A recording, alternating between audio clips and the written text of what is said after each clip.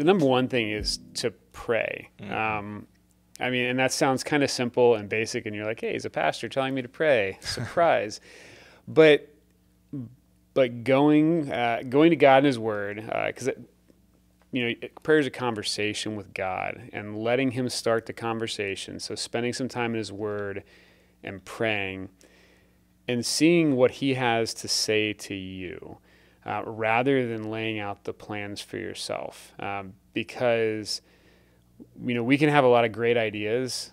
His ideas are always best. And so let him lead you. Um, and, and he's going to lead you in ways that you that you might not expect. And he's going to show you uh, because because that's who he is. And he wants he wants you to serve him in the way he's created you to serve him. And so i, I firmly believe spend some time in word in the word and let him start that conversation and that time in prayer